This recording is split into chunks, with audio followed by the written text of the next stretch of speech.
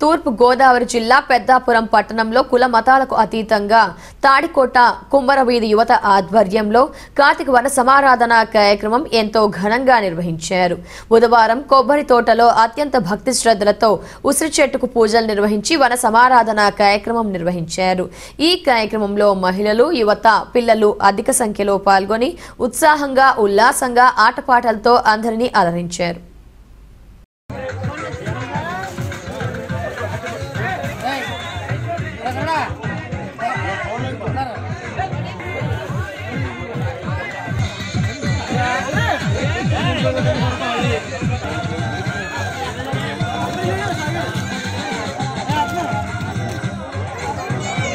Yes, I know you.